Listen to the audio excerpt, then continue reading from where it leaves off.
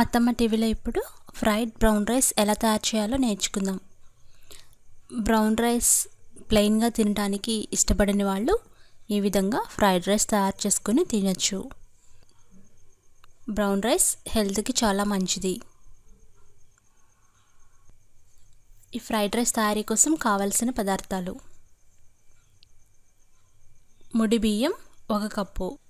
దీన్ని చక్కగా పొడి పొడిగా అన్నం వండుకొని పెట్టుకోవాలి. ఎలా వండుకోవాలో నా వీడియో చూడండి. కట్ చేసి పెట్టుకున్న క్యాబేజ్ ఒక కప్పు. క్యారెట్స్ రెండు కట్ చేసి పెట్టుకోండి. అలాగే ఉల్లిపాయ ఒకటి పచ్చిమిర్చి మూడు టమాటా ఒకటి. ఈ వెజిటబుల్స్ అన్నీ కట్ చేసి పక్కన పెట్టుకోవాలి. రెడ్ క్యాప్సికమ్ ఒకటి దీన్ని పొడవుగా కట్ చేసి పెట్టుకోండి. సోయా సాస్ అర టీ స్పూన్. టమాటో సాస్ ఒక టీ స్పూన్.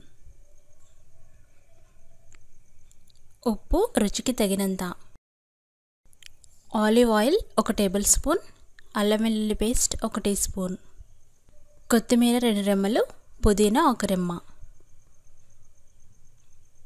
ఇప్పుడు ఈ వెజిటబుల్స్ అన్నీ చిన్న చిన్న ముక్కలుగా కట్ చేసుకొని పక్కన పెట్టుకోండి.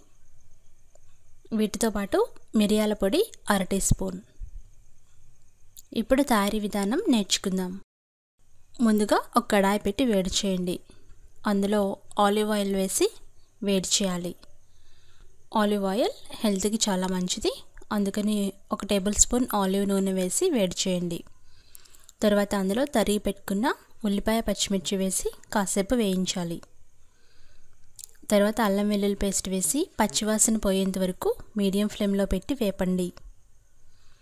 తర్వాత పుదీనా కొత్తిమీర వేయండి. అవి వేసి రెండు నిమిషాలు వేపాలి. తర్వాత అరిగి పెట్టుకున్న క్యారెట్స్ వేయండి. క్యారెట్స్ చిన్న ముక్కలుగా కట్ చేసుకుంటే త్వరగా వేగుతాయి. ఐదు నిమిషాల పాటు వేపాలి. తర్వాత కట్ చేసి పెట్టుకున్న క్యాబేజ్ వేయండి. క్యాబేజ్ వేసి మరొక ఐదు నిమిషాలు బాగా వేపాలి. ఇవన్నీ బాగా మెత్తబడేంత వరకు మీడియం ఫ్లేమ్లో పెట్టుకొని వేపుకోండి. ఆ తర్వాత టమాటా ముక్కలు వేయండి. టమాటా ముక్కలు వేసిన తర్వాత టమాటా ముక్కలు మెత్తబడేంత వరకు ఐదు నిమిషాలు వేపాలి. ఈ విధంగా తిప్పుతూ బాగా వేపుకోండి. అంటే వెజిటబుల్స్ అన్నీ బాగా వేగాలి. అందులో రుచికి సరిపడా ఉప్పు వేసుకోండి.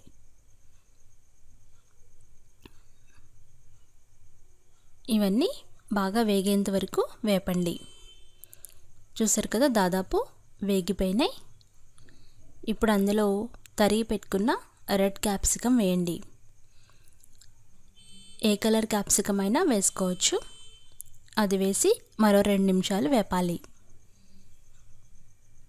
ఈ విధంగా తిప్పుతూ రెండు నిమిషాలు వేపండి. ఇప్పుడు అందులో కొద్దిగా సోయా సాస్ వేయండి. తర్వాత టమాటా సాస్ వేయండి. ఈ రెండు వేసి మరలా బాగా తిప్పుతూ వేపుకోవాలి.